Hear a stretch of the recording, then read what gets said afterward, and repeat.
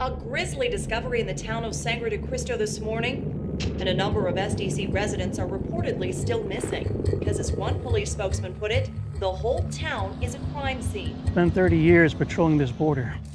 You're gonna see some horrible things. We all thought it was a mass murder case, you know, serial killer. Our thoughts and prayers go out to the families of the Sangre de Cristo victims. A person of interest was detained. We found the suspect covered in blood. 38 year old Francisco Salazar, an illegal immigrant, has been charged with over two dozen counts of first degree murder. Everybody seems so shocked about this. Not me. Because I know what these people are capable of. If this guy actually killed the whole fucking town, fucking kill him. Fry his ass. A, a serial killer. I mean, that was pretty much the general consensus. Francisco Salazar remains jailed under high security in Heinzman. But then the photos emerged. It changed. It changed everything that we thought about. I don't understand. Why did you keep taking pictures?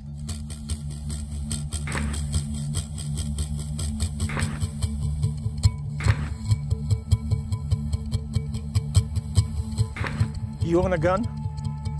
I, I do. Ever since that was, I've seen these photographs, I've been sleeping with it under my pillow.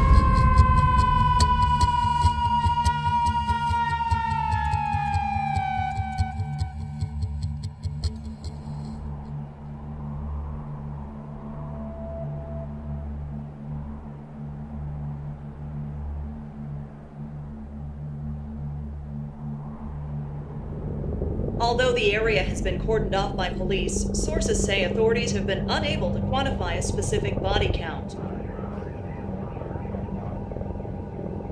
In what's being described as a likely mass murder scene, police recovered the bodies of over a dozen victims in various sites throughout the town.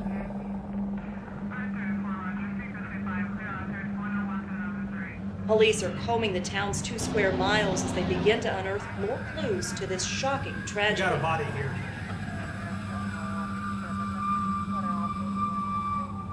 The body count in what police are calling the Sangre de Cristo massacre has risen to over 20. Residents of nearby Heinzman and the border communities are encouraged to avoid the general SDC area and to report any tips or suspicious behavior to the authorities.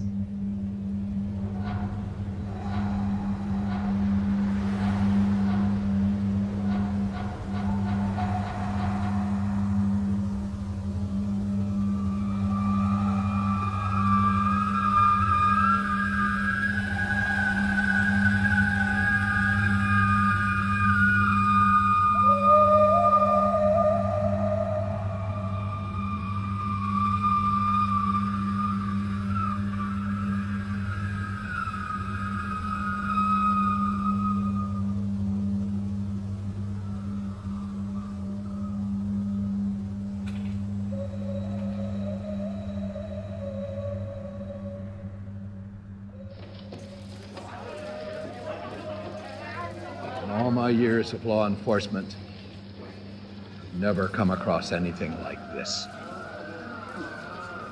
God abandoned Sangre de Cristo.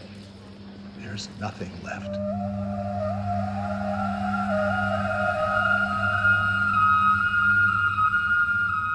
It still amazes me that the largest single day homicide in history of the state of Arizona got no attention, zero media coverage. It's hard to imagine the scale of the carnage. Most bodies were only partial remains, scraps of bloody clothing, limbs in the street. Some bloody trails ran up to a quarter of a mile as if the bodies had been dragged. Other trails veered out into the surrounding deserts and just disappeared. All of them men, women, children gone in one night. I've been a writer since uh, 1995. I've written five different books. I worked for a couple of years as an investigative reporter here in Los Angeles. We covered all the things that LA Times didn't cover. Every place is known for something. South Arizona, the vanishing capital of the United States.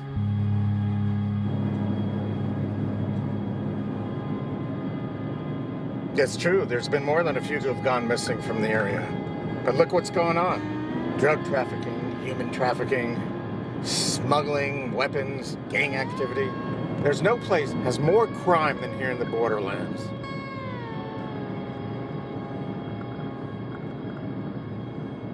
You lose one person, that's a tragedy. You see a whole town wiped out.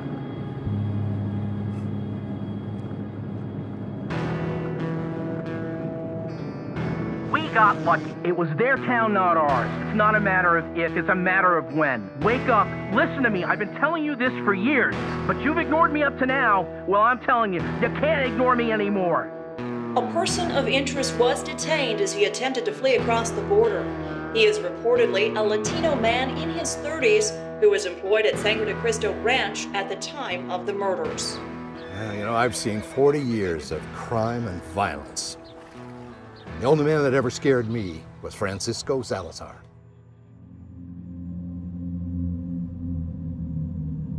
Francisco Salazar was an illegal who had been living in Sangre de Cristo for seven years after jumping the border from Nogales, Mexico, which made him a pretty convenient fit. Even with all the things that go on around here, you never expect to see something like this. He was raving when we caught him.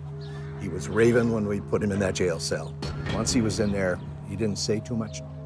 23 hours after they closed Sangre de Cristo down, Salazar staggered into Desert Highway 67, 12 miles east of SDC, and collapsed at the side of the road. The only truck to stop was an independent rig, co-owned by Mario Chascarrillo, who had just got his license. He dragged Salazar into the cab, turned around and drove him west to the nearest town with a hospital, Heinzman. The hospital contacted the cops. How you doing? Oh, good. How's Brad been? John Pirano understands his people, just like his father.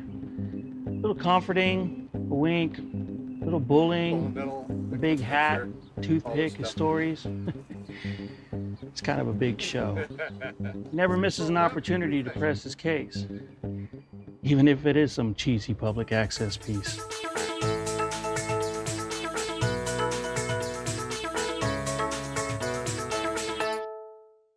I was born and raised right here in Heinzman. I've been elected uh, sheriff of Heinzman County for seven consecutive terms. Before that, I was a deputy sheriff for 10 years. I've devoted my entire life to the good people of this area. Sheriff, how would you profile Francisco Salazar? If there's ever a checklist for a serial killer, uh, Salazar would check every box. He was a loner. He come from a low-class background. He had anger issues. Um, his father abandoned him at an early age. You know, he was a drifter. Yeah, I actually worked with him for a little while. We were part of a re-roofing crew at the pharmacy. He was one quiet dude. Me and my friend dropped a sandwich at lunch. Salazar he takes a fucking picture of it. They found dead corpses of little kids out in the desert. A lot of folks couldn't sleep at night. Just the start of something bigger? Salazar, he's, he's La Raza. So where are the rest of his thugs? Coming here to wipe us off the map? Like he did SDC? He, he uh, did odd jobs around town. He painted houses of some of his eventual victims. Judge Jack Hudson has instituted a full media ban with no cameras permitted in the courtroom and no media personnel allowed within 200 yards of the courthouse. This Lawrence uh, Ross guy, you know, he came here with the wrong idea. Everybody saw where it was going, so of course there was nothing but closed doors. You know, sorry. Look, we did not arrest Salazar because he was Mexican. We arrested Salazar because he was covered with 15 types of blood. Hey, AM 970, Heinzman, Arizona. This is the Gus Greer Show, and I'm Gus Greer. And for the next two hours, you are going to get the most valuable thing that you've ever had in your life an education from me. The Mexican, the Cholo, La Raza. It's a culture that celebrates violence. They glorify death because they have nothing else to look forward to. I can't say the political climate at the time had anything to do with the way he was treated.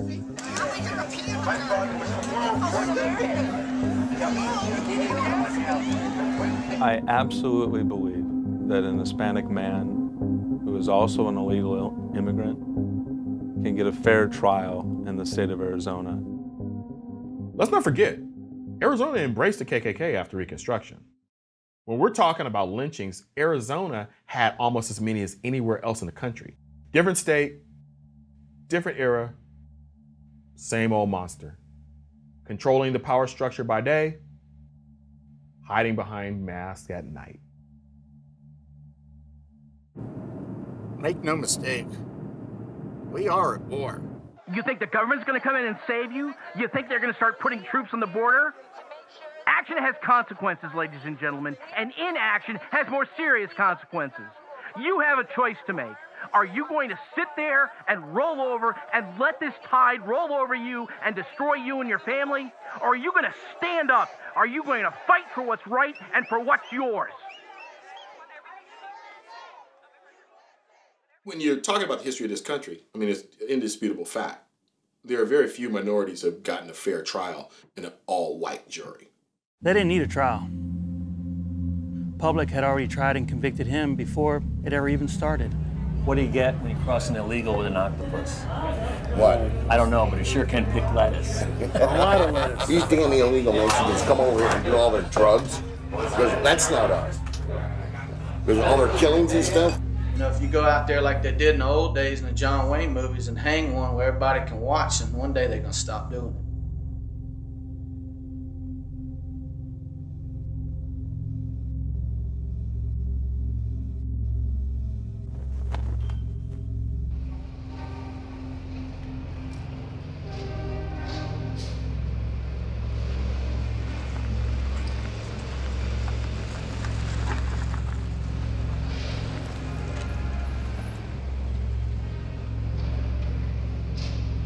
Que él mató a esa gente.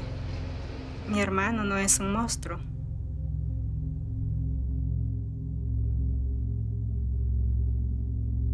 Francisco es una persona normal como tú y yo.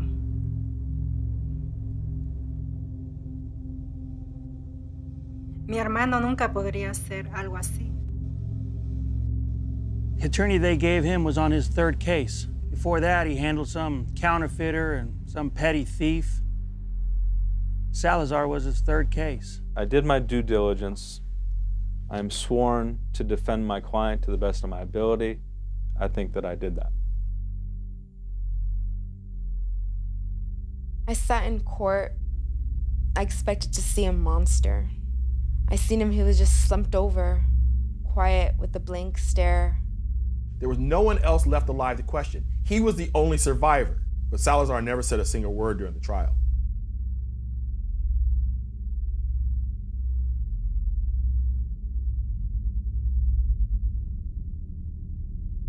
Teeth marks? That's something I'm not going to get into. Okay, how's it going, Bob? Day three of the trial, and I'm already sick to my stomach. I never want to hear another word about the freak eating the people he murdered. I basically believe that he, he killed these people. I believe he should get the death penalty for doing what he did. He's an outcast. He should be put to death on the spot. Lethal injection. Fry his ass. And that was the level of analysis in the courtroom a one man serial killer army. They could only do forensics on seven partial corpses that were intact enough to be tagged and ID'd. When pressed about identifying the other remains, the coroner said on the stand, How do you run DNA tests on 20 square blocks of bloody sand?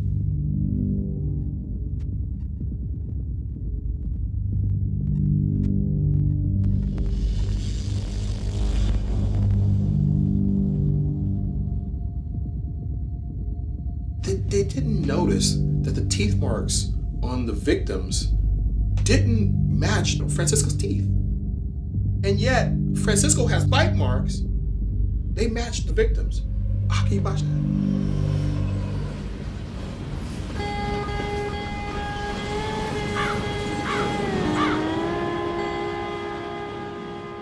During the first trial, I felt like I needed to seek someone out who understood the local culture of the border.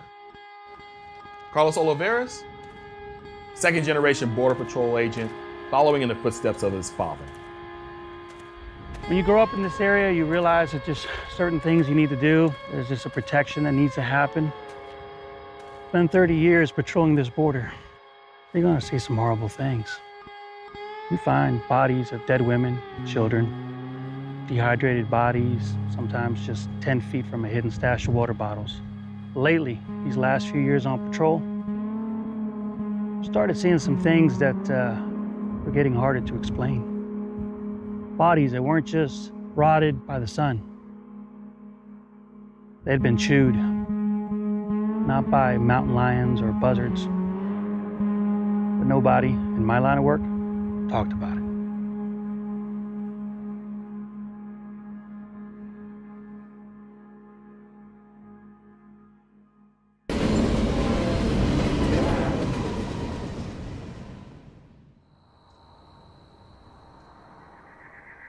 Whatever happened in Sangre de Cristo couldn't have been the work of just one man. I didn't need a law degree to know that.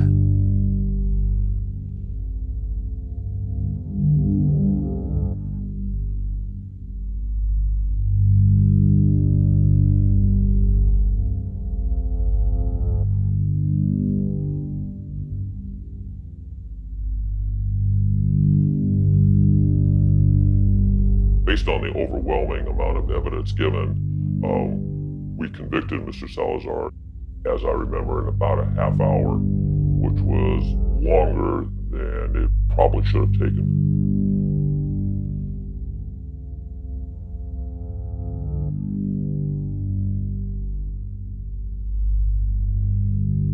Salazar was an easy target. He was a person easy to dehumanize. To the people in Heinzman, he was just some guy who went job to job. He would work on construction jobs. He would do anything. He's minimized as being just some sort of drifter, you know, some cash and carry guy who you found on the end of a block and you put in the back of a pickup, do your work, and you forgot about him five minutes after you dropped it back off. During the first trial, I knew that Salazar had been interviewed on camera only once on the evening he had been taken into custody. I spent 13 months filling out Freedom of Information Act requests at both the state and federal level. Nothing. The Arizona Open Meetings Act, I got nothing until I got this video. Francisco. Interviews. You said that they were people that you knew, but something wasn't right about them. They were the same people, but they were dead. Why didn't we hear about this tape before? The tape was never entered into evidence in the first trial, and it was barred in the second one. You didn't give serious thought to using the video in his defense? Have you seen the video? It's not an insanity defense, it's it's a suicide note. It sounds like the ramblings of a crazy man, sure.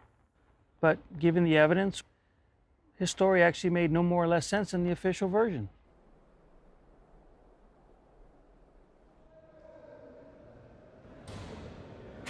The administrative staff were very concerned about him, um, me interviewing him, not being shackled to the chair, which is a typical thing. I wanted to get rid of as many barriers as I could because I could tell that he was pretty closed off emotionally and he was kind of a shell in his own head and very, very, very scared.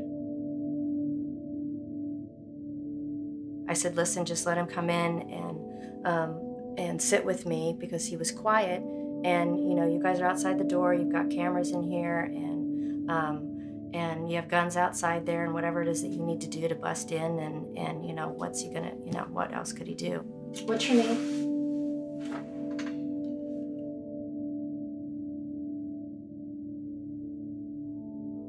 Um, it took quite a while for him to even um, start to answer any questions, his name or where he grew up or basic just, you know, assessment stuff that we do. Esta niña linda que nació de día. And I was wondering if maybe he was regressing back into some childhood memory or feeling or something. quiere que la lleve a la dulcería. The level of trauma that Francisco has seemed to experience in his life um, could easily be compared to somebody who's come back from um, being in a combat situation. It doesn't matter what you do to me, they're still out there. Who, who's out there? At least they can't get me in here. This is a guy who is facing death and the horrors of jail. Yet somehow he feels safer on the inside than he does out here. In my professional opinion, even though his story sounds like it might be a little bit, you know, crazy and out there, um, I did not find anything about him that was psychotic. His behavior, anything he said to me, um, he was, you know, in layman's term, completely sane.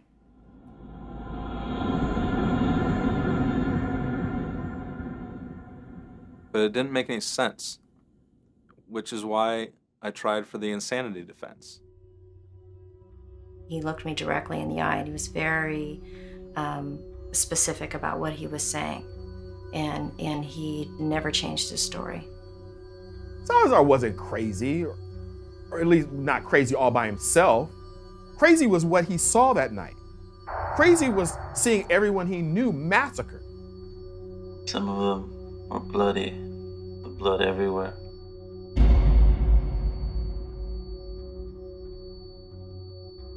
It's the ravings of a madman, right? But do you know what was really crazy? I had to get help. I took my camera. The arrest report listed the items on Salazar's person when he was dropped off by the truck driver.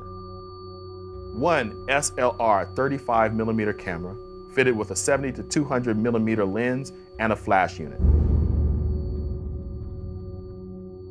Everyone around here knew he was a photographer. He took pictures of everybody.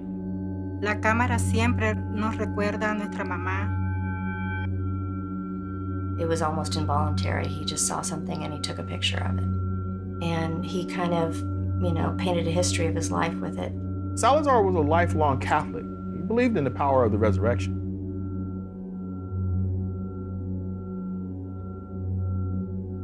Yo creo que Dios trabaja en diferentes maneras de misterios.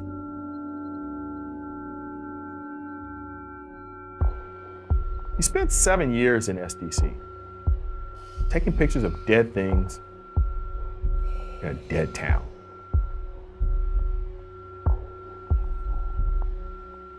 Being an illegal, strike one. A loner with a camera, strike two. Grace Putnam was pretty much strike three, especially considering everything that happened. Grace Putnam lived in SDC. Francisco was a friend of the family. Salazar's house was was jammed with these weird and, and suggestive photographs of children and, and roadkill.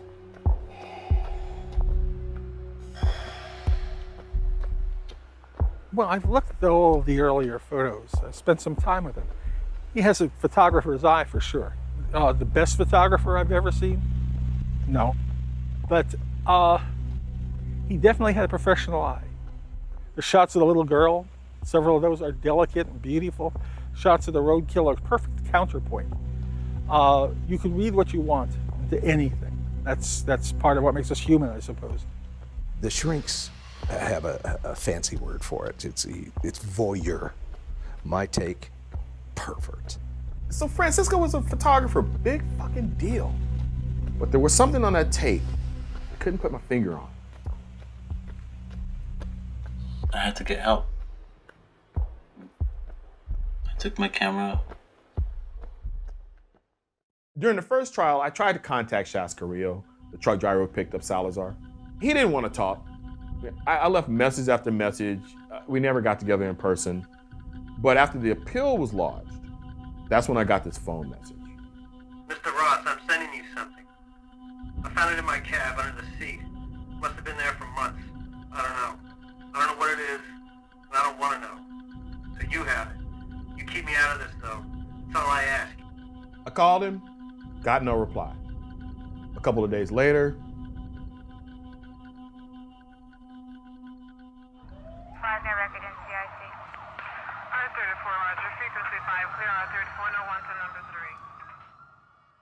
A week later, the roll arrived. We want to talk to Salazar case about how the photos are going to affect his appeal. What Francisco said on the tape, what everyone else discounted as insane ravings, turns out he documented it all. Something primal and horrible moved through Sangre de Cristo that night, and the one survivor made a record of it. Francisco had a camera with him that night. He took it with him and he recorded what he saw. On one roll of film, 36 exposures.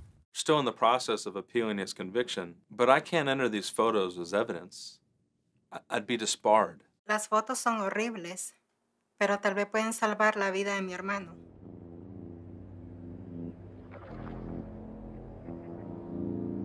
All this stuff about the photographs is BS. Photos prove nothing. Nothing. I, I know many kids right here in Heinzman who could Photoshop you into the famous grassy knoll in Dallas with a smoking gun in your hand, and you'd believe it was you. I've been a professional photojournalist for, Jesus, over 40 years now. Shot in Nam, shot in Cambodia, pretty much all around the world. These are as authentic as they get. Usually, when somebody is playing with film, you can tell. There's rough edges, there are little things that, that a professional can tell when looking at photography. You look at these pictures, there's none of that. These pictures are real. The judge didn't want them. Pirano didn't want them. It doesn't matter. The photos are not evidence. I would tell the local authorities that they are wrong, that these are as authentic as it gets. I'm frankly surprised their own people haven't looked at the photos and been able to confirm the truth of the pictures. I'll tell you what those photos are a sick prank played by sick freaks.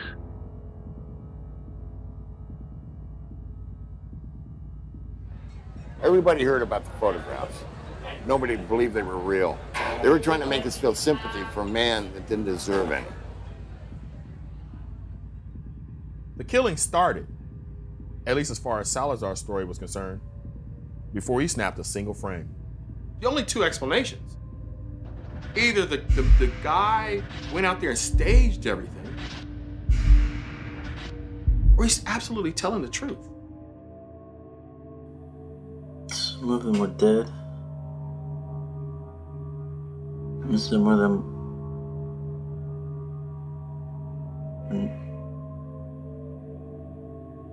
He was babbling, and I thought I was going to lose him, which which I eventually did. So I asked him to start at the beginning.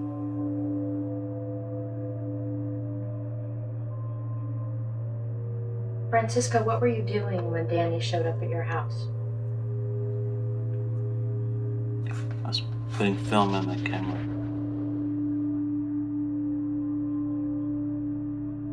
According to Salazar, he's loading up his camera, getting ready to shoot some dead coyotes or possums. But Danny shows up on his doorstep, bleeding out like a stuck pig. And then you said that he he came in and he was bleeding. And you tried to help him. And you laid him down on the couch. Is that correct? I saw him die. How are you sure that he was dead? He was dead. I know he was dead. The police forensic reports back up that the victim did die at Salazar's house. Danny's body was one of the few that could be identified, but barely. Danny Montez was my cousin. I thought he and Salazar were cool. Montes used to work in the fields near Salazar's house. This is where it gets confusing to me.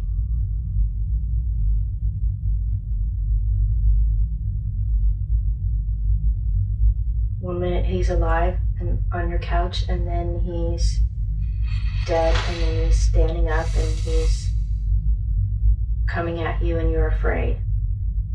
He was dead. And then he came after me. And I had to stop him. That's what happened. So when he was telling me this story, it was very clear and concise, and it, it seemed to like let a weight off his shoulders, and he exhaled, and he got very calm after he talked to me about this. So he was very clear in the details about what happened. I mean, doesn't that seem strange to you? This is not something I've ever heard before. That's what happened. It was his same body and same face, but it wasn't Danny. Hmm. Did he say anything? No. No words. The boy's body was found in the middle of Salazar's living room. You stopped him. How did you how did you stop him from attacking you? I I held him and I heard him.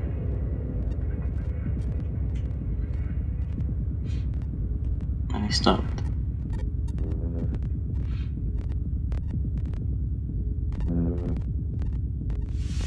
How did you hurt him?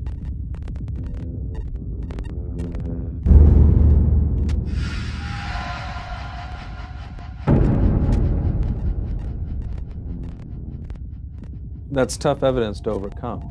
There's no question that Francisco hacked up Donnie Montez to pieces. The question is, did he kill him? So after after all that happened, then then what did you do? I had to get help. If Salazar killed Montez, why would he run into town to get help? Because going south wasn't an option. Here is photograph 01 on the roll.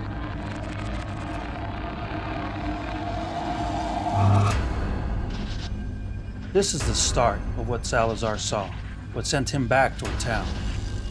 This is what made him run. Salazar's roll of film was a map. From the edge of town, three miles across, what was left of Sangre de Cristo.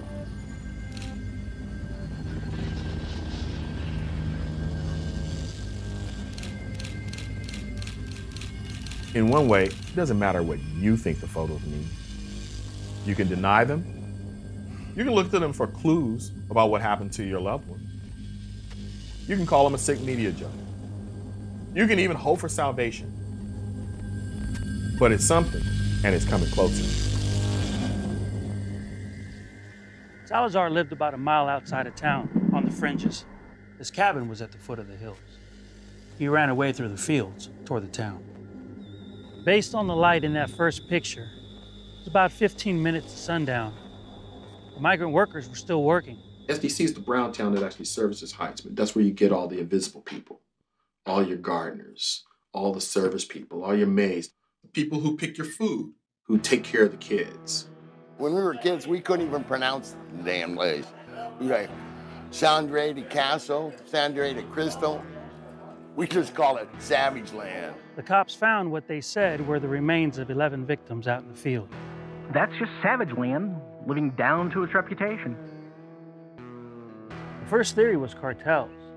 SDC is in an area of major cross-border drug supply lines. Maybe drugs were passing through and some gang wanted to stake out a new territory. There were a lot of dealings with drugs. Drugs were coming in, and like the cartel was coming in and influencing the young kids. Cartel killings are designed to make a point. They stack the heads up all neat, like it's an altar, or they hang the bodies from bridges. It keeps people in line. This wasn't designed to make a point. This was random carnage. Salazar's running for cover, exposed, out in the open. Coming out of the fields, he headed into town and came across Ron Templeton.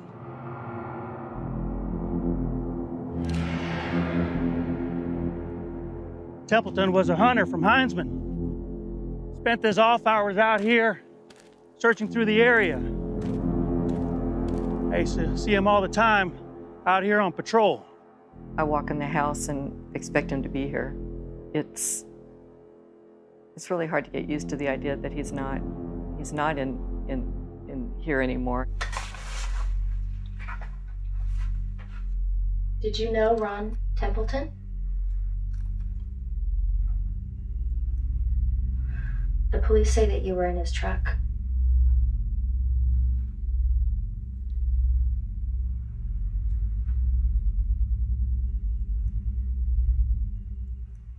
Because he had a gun.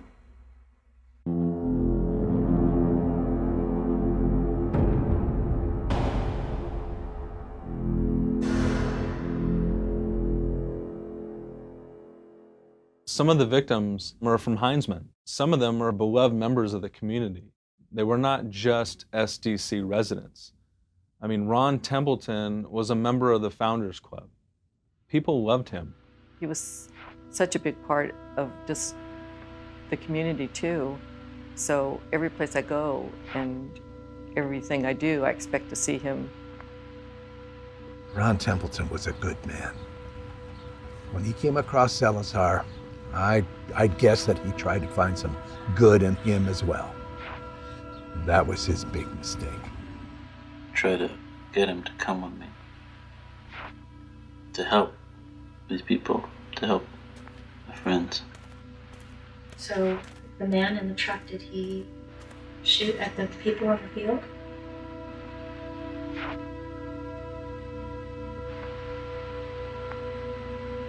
What happened?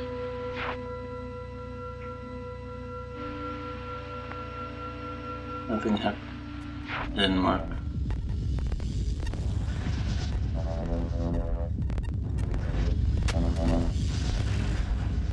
The one thing that continues to bother me is Francisco Salazar taking Ron down. He's such a little man. According to the state's case, a 5 foot 9, 170 pound Francisco ran bloody and screaming toward Ron Templeton, who's 6 foot 1, 210 pounds, and armed. Anyone who knew Ron knew what an expert um, hunter he was. He was an expert shot, too. Um, he never missed. I mean, one shot is all it took to ever kill an animal. And for him to miss that many times, that close up, impossible to even imagine.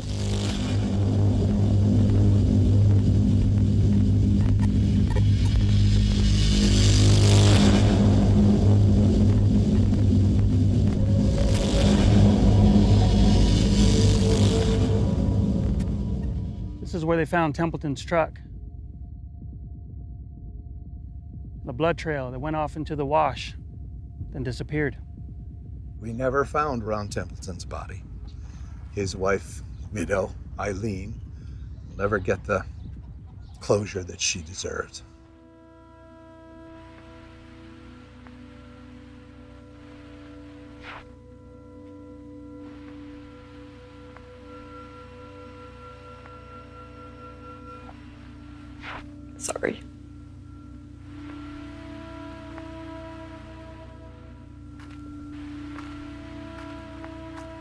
57 people died here, and the local newspaper ran one obituary the one white guy from Heinzman.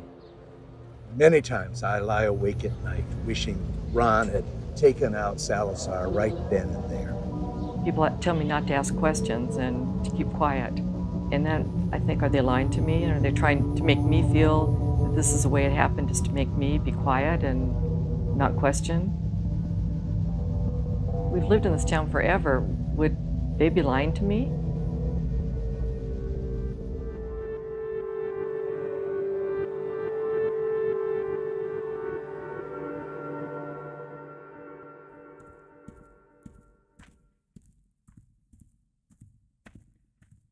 Salazar runs until he reaches the edge of town.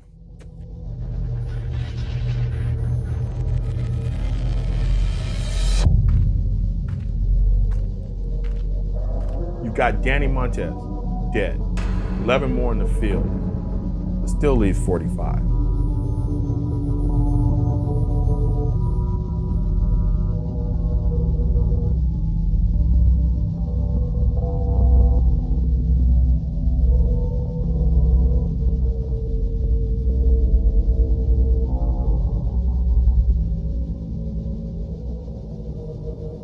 At this time, it's about 8 p.m.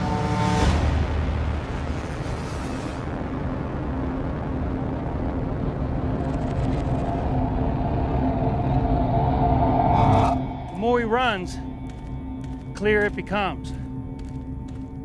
He's not outrunning anything.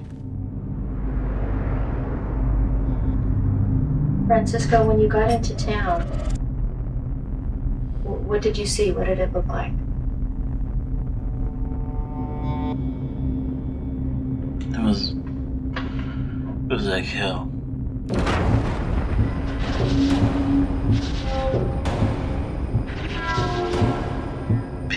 Running.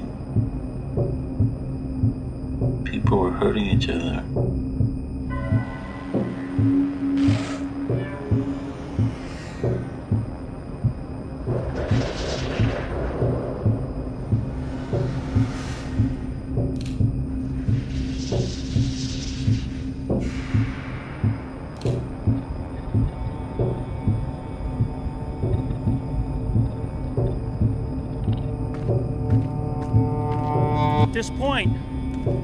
15 p.m. Francisco is making his way through town trying to stay alive. By his own account, he has no weapon at this point, just his camera.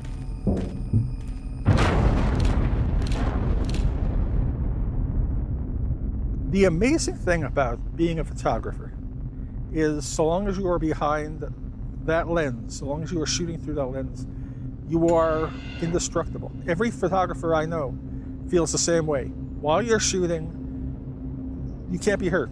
I have a stultifying fear of heights. I, I just looking out an upstairs window scares the hell out of me. In Nam, I used to spend half of my time hanging out of an open helicopter door, hanging onto a strap I wouldn't use as a belt, and shooting away because nothing could hurt me. So long as I had that camera in front of my face, nothing could hurt me.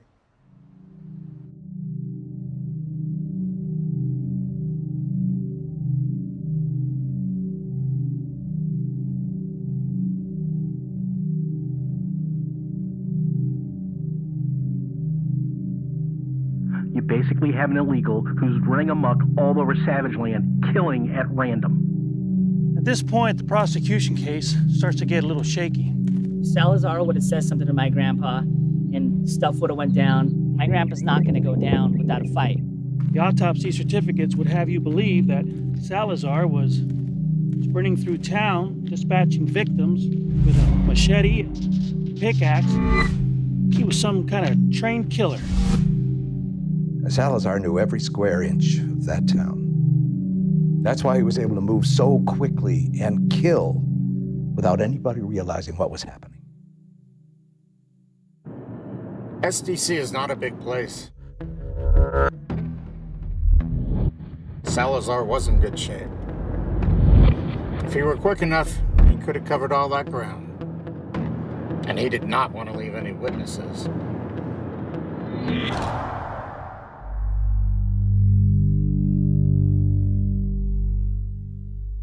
What's most amazing about these photographs is the fact that he got as many decent photographs as he did out of one roll. I mean, I can't imagine why he would go with one roll. I have a feeling he probably had more that he lost along the way because I've done it myself.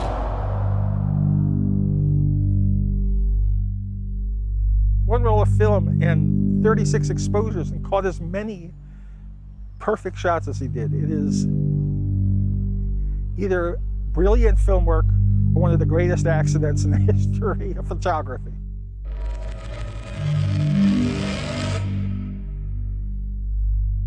We know that Salazar gets here to the one store in town. It's a little way out of the rest of his route based on the photographs. But we do know this market had a working landline. But if that's what he was going for, he was shit out of luck.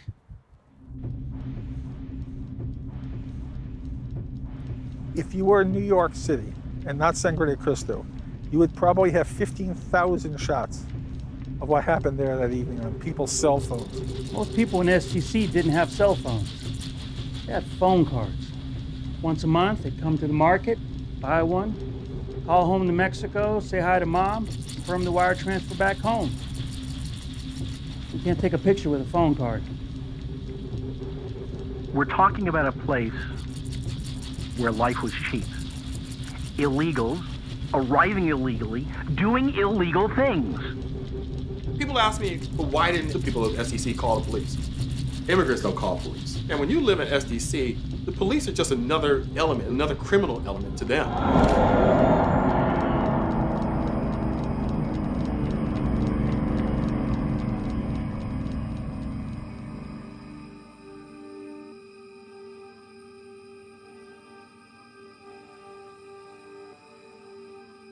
Salazar was also charged with murders that happened at the water tower. But there's not a single piece of evidence to indicate that Salazar was ever there. And remember those people we found, you know, right next to the small water tower? We know that they ran. We know that they ran up to the top of that water tower. And instead of confronting whatever was chasing them, they chose to jump off the water tower. Now, that just doesn't happen when you have an individual. I don't care how horrible that individual is, that doesn't happen. Eight people supposedly ran up there trying to get away from one man. But instead of trying to fight him off on a single fire escape, these eight people chose to jump. They'd rather kill themselves and their families instead of fight him. They told me that uh, Jose and his family were some of the ones who died at that tower. And it was only two blocks from their house. I mean, I, I look at his picture and. Maria had such a strong sense of faith, a really strong sense of faith. I don't have that faith. I just don't have that faith, and it and it and it hurts me, you know, because I, I'm more angry about that. I can't imagine why the two of them would would do something like that. I just to climb that. If you think about them standing there at that moment and then making that decision,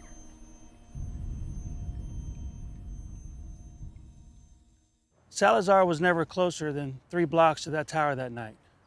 The truth is, he had a different route in mind.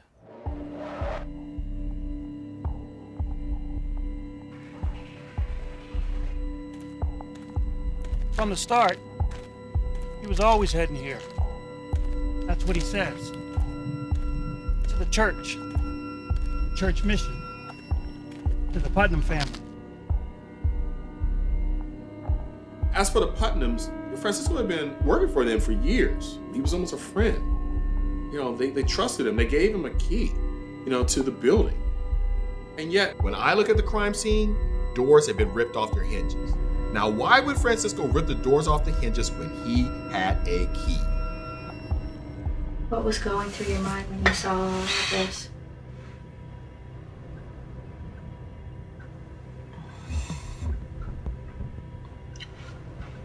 I just wanted to help my friends. You worked for Dwayne and Judith Putnam, didn't you?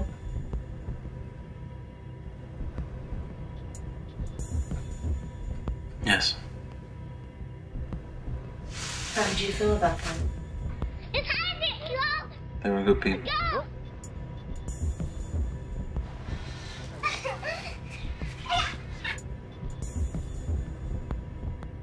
Putnams were here to convert the old church and mission offices. Basically, start a new ministry in a town other religious groups had long since abandoned.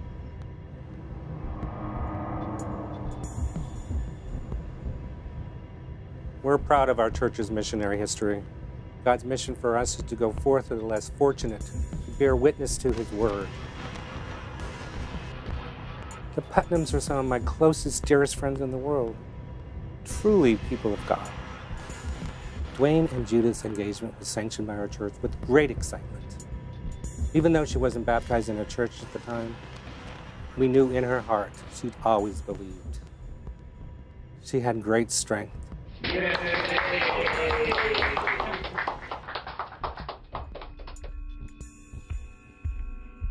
my friends. Salazar had spent the summer working as a handyman on the mission, doing odd jobs, running errands for Judith, hanging out with the two kids.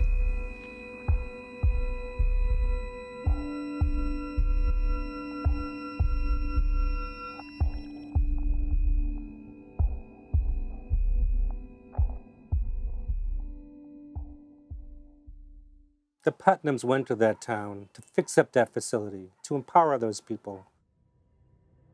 This family reached out to Salazar, and this is how he repaid them.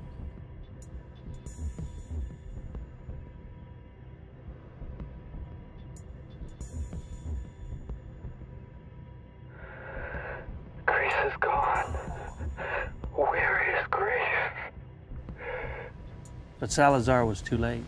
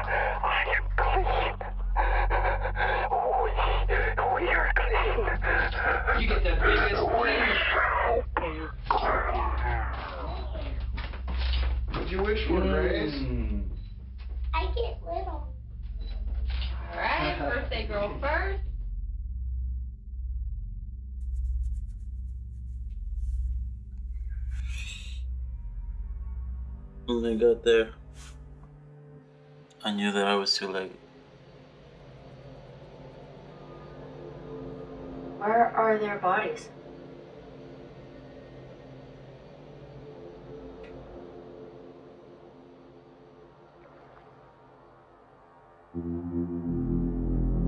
In the official version, forensics, coupled with the Putnam phone recording, led the police to conclude that Putnam killed his wife and son before killing himself.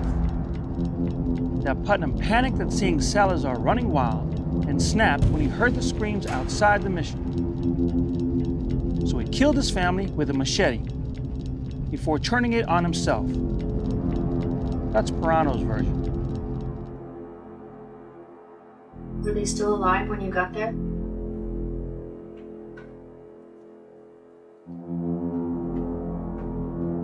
Only one of them.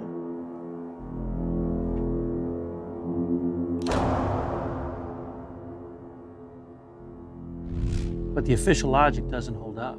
Putnam wanted to give his family a mercy killing so they could all go up clean to Jesus, that's one thing. But why dismember his little kids? Yeah, we had dogs searching for the other remains. We found nothing. Of course, Salazar won't be telling us where he buried the bodies. Dwayne Putnam thought he was a man of God. But he made the wrong choice. For a pastor, a man of the Bible, it must be hard to see these photos. They show what you might call a inconvenient resurrection. The only thing he can do is deny it. God saw what Dwayne did. He was a murderer and a suicide. Okay, well. Bye. Bye. Bye.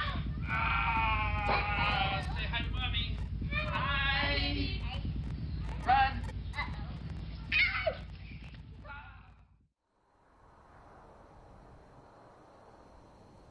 Where was Grace Putnam? She wasn't there. Where was she? If Grace wasn't at the mission, She was at school. the school is on the outskirts of town, and Salazar still has a distance to go. Through the most densely populated area of town, where most of the bodies were found. Most of the killings occurred on the street or just inside the entrances to homes. People rushed out to see what was happening, to protect their families. I mean, if this bullshit story were true, why didn't Salazar put down his camera and help those people? Salazar was a handyman. He had keys for vacant buildings all over town. He could cut through building to building from one end of town to the other, hide, look out. Look, most of the time, he probably wasn't even close to the action. I mean, a 70 to 200 millimeter lens pulls in all sorts of distant detail. You know, sometimes you get nothing. Sometimes you get something extraordinary.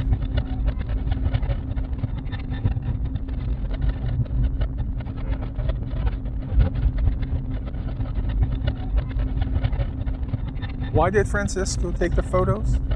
The better question is why not? You are capturing moments of time that you are the only person. It's it's it's a moral imperative almost. You're the person with the camera. You're the only person there with that option. You take the pictures because you must. Because somebody has to take those pictures. Salazar makes his way down Main Street and gets to the preschool.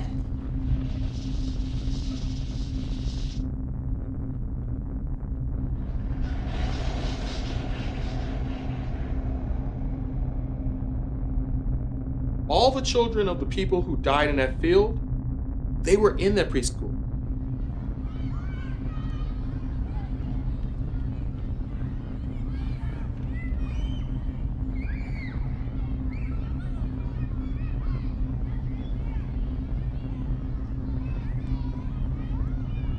That's the thing that messed with me the most.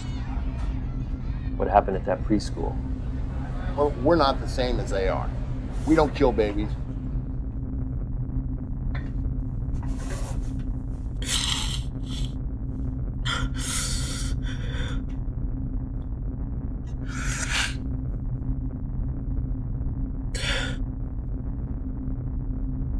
There's almost nothing that you could say to change people's minds.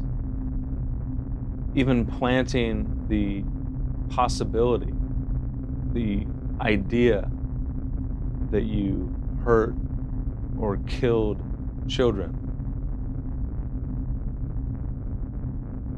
To the school.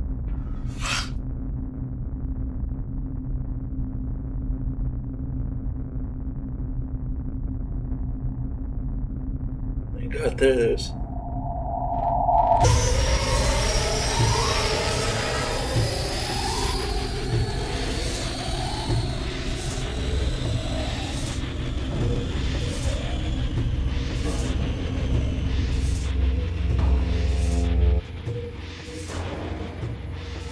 There were nine kids in the preschool and one teacher, Lisa Reyes.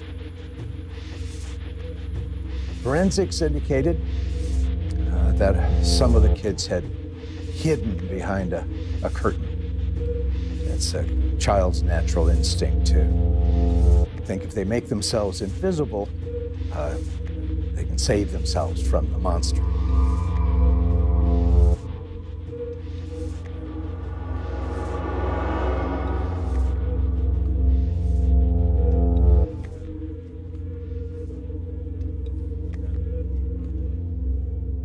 When I came back, I just, like I said, I couldn't believe it.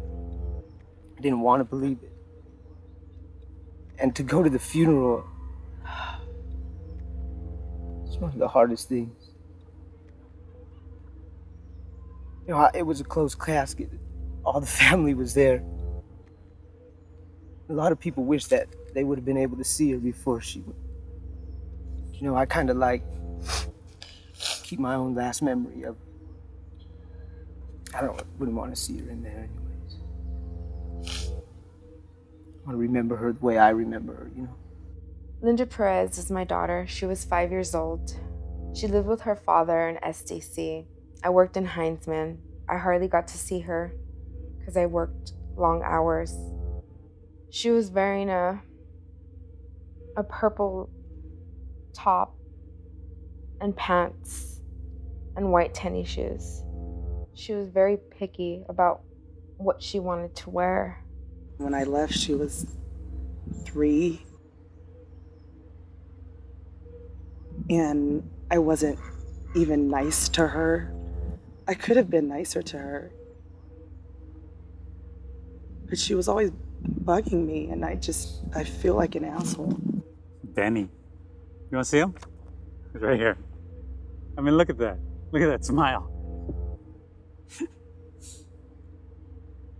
You know, he was he was born premature, and uh, he was tiny, tiny. He weighed two and a half pounds, and you know, he had some problems. He, he got pneumonia as a newborn, but he had a tough, strong heart. I could have gone home more, but you know, it was a piece of shit town, and I left when I could.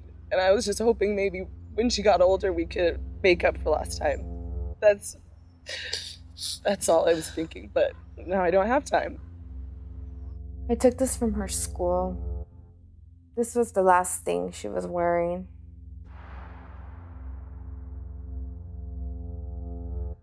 Grace is gone.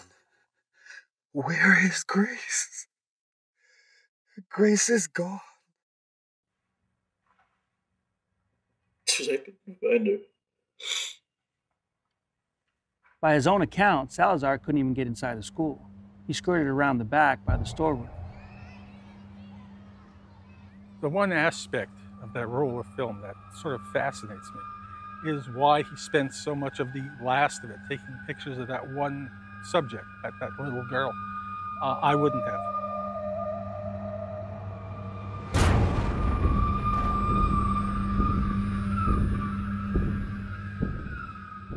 It's not what I would have done, certainly, and I don't think most other professional photographers would have done it either.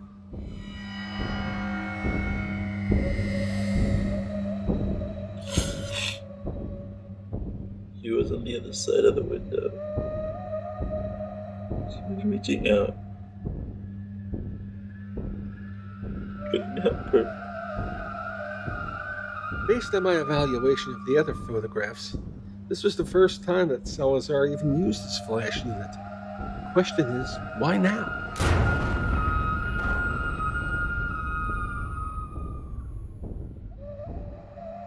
I tried to stop him with the flash. With the camera?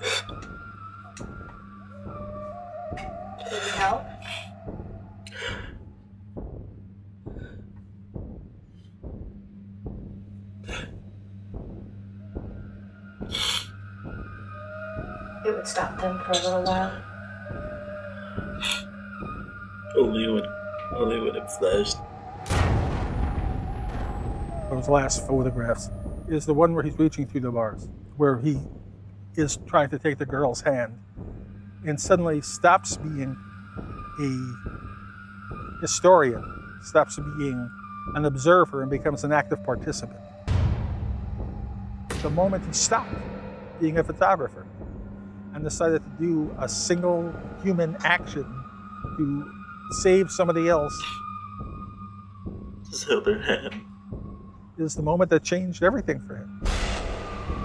You give up being a photographer to become a human being, and you lose what has kept you alive and safe through the rest of the process. Just held her hand. And I sang. Esta niña linda que nació de día quiere que la lleven a la dulcería. Esta niña linda que nació de noche quiere que la lleven a pasear en coche.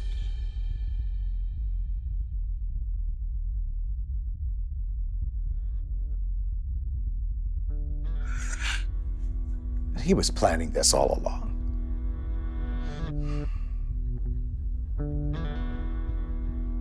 There's only three possibilities either he's lying, he's crazy, or he's telling the truth. And in my professional opinion, he's not lying and he's not crazy.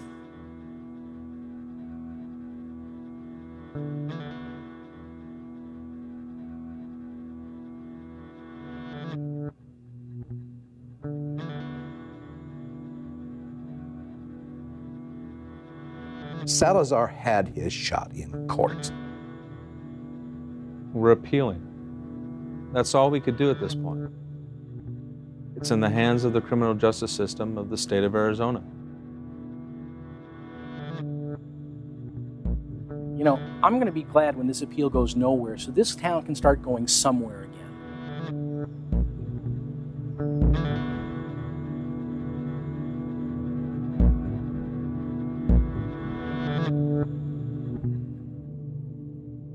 If you've been a reporter like me in a inner city, you, you've seen murders. I mean, you've seen murders of every type. I can tell you in a second, gangland shot, you know, personal shot in terms of, you know, two different people who know each other. I can tell you how a person died.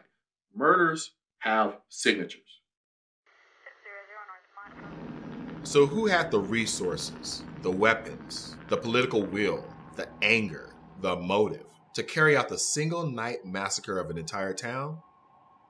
It's a familiar story we've seen played out time and time again. It's not smoke and mirrors, it's desert, sand, hate, fear. Nat Turner, Scottsboro Boys, the Tulsa Race Riots, Zoot Suit Riots, Camp Grant Massacre, Operation Wetback, Rodney King.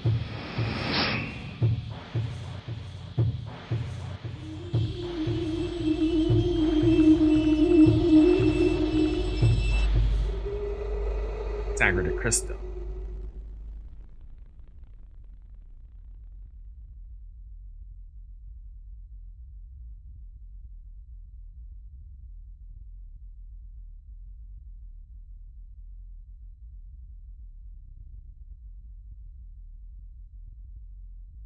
This is the community that we are. We do take an eye for an eye because not only is that fair, that's our God given right. And we will be watching the border for all future Salazars.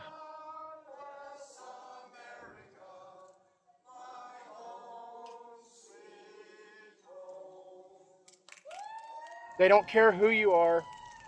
They don't care what you do. They'd basically rather shoot you than than uh, give you a dollar. the Great Wall of America between us and Mexico.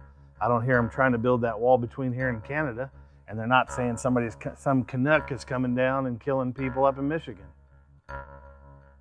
There's a lot more Salazars out there. More Riveras, more Sanchez's, more Carlos's. But make no mistake, it's a matter of when, not if. Basically, there's a hundred thousand that try to come across, and there's only maybe a thousand border patrol. They ain't gonna get everybody.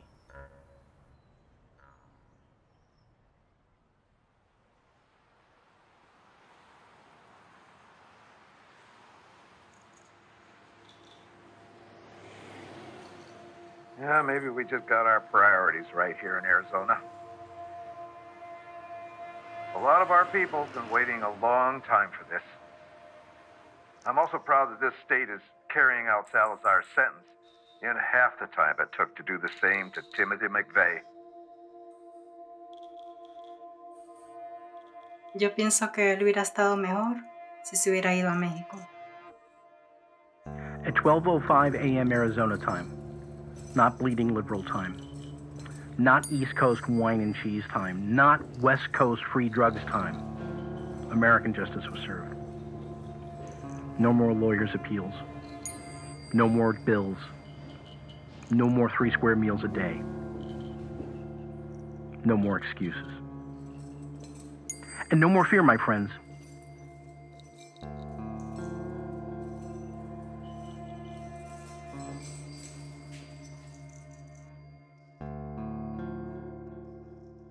Francisco was the only witness to what happened that night. And the court killed his photographs. And then the state killed him.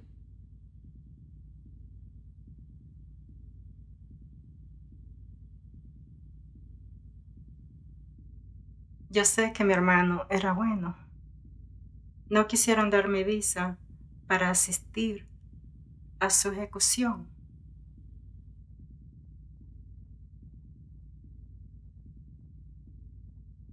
Nunca pude decirle adiós. Do you know where Salazar gets buried? He gets buried right here, in the state of Arizona. He must be pretty pleased with himself. He snuck in here, he hid here, he killed here, he's executed here. But even in death, he manages to avoid being deported.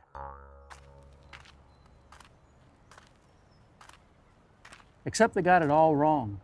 This doesn't end with the execution of Francisco Salazar. Francisco Salazar's photos don't end with Francisco Salazar.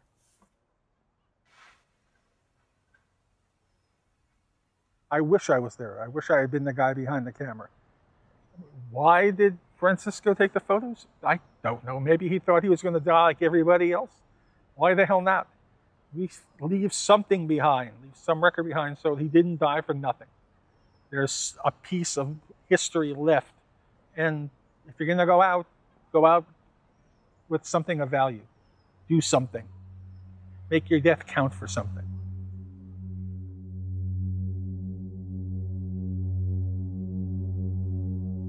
The photos show us the truth. The truth is that I'm the one who found the photos. I'm the one who released them. Ross found the truth, but he couldn't see it. He got scared. I don't blame him. As a journalist, I deal in facts, not speculation. And the facts are that Francisco recorded whatever moved through that town that night. And that was the only real evidence. And the local will to investigate was non existent. So the photos exist in a vacuum.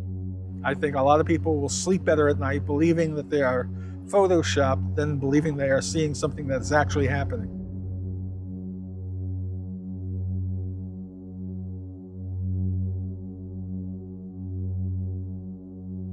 There's no going back to normal. Because normal doesn't exist anymore. There were no masks, no cartels, no mob of illegals at night. The photos do tell us something. They're numbered. Number one was taken from the Southern Wash in the foothills. Number 36 at the schoolhouse. When you look at the crime scene, the police reports, the layout of the town, you realize that this carnage wasn't random. It was just so huge that nobody could see the bigger picture.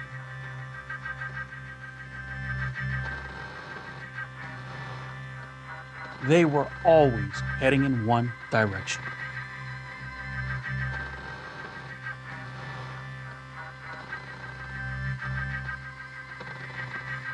They were heading north.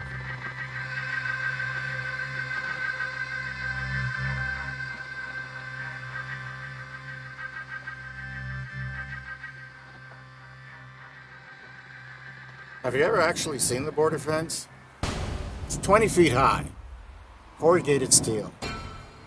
razor wire in some places.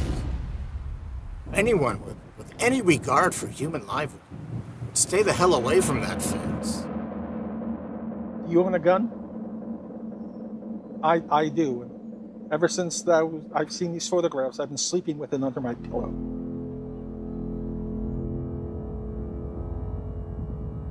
This is a cruel land where death is a certainty. We grow up with it, we accept. You know what made my morning? Hearing that some group of unknown patriots found where Salazar's grave was and dug it up. The body's gone, my friends, and good riddance.